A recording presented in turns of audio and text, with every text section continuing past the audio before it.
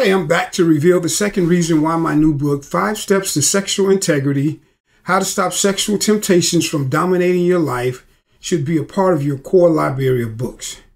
All right, here's reason number two. This book belongs in your core library because it gives you the tools to help the individuals that God has placed in your life who are struggling with sexual temptations. Whether you're a parent, teacher, pastor, or anyone with influence, this book is your guide to providing compassionate support grounded in biblical truths.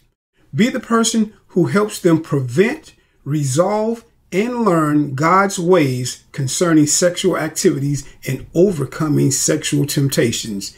Be there to prevent so that they will already know what to do when they are tempted sexually.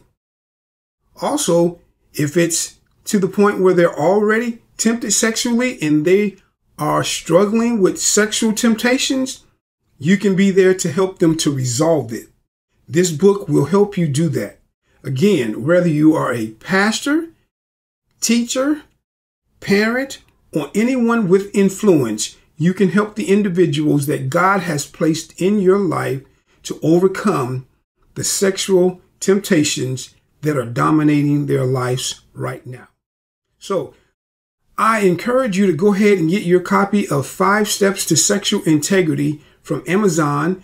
There's a link in the description that you can use also.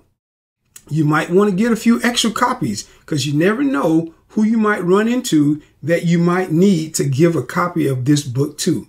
It's an incredible resource that God has allowed me to write, and it contains my personal ter- testimony. And I was able to use the principles that are included in this book to get to the place where I'm at today. All right, until next time, go ahead and get your book from Amazon. Use the link in the description to get your copy. And if you need to get a few extra copies, go ahead and do that as well. So until next time, take care.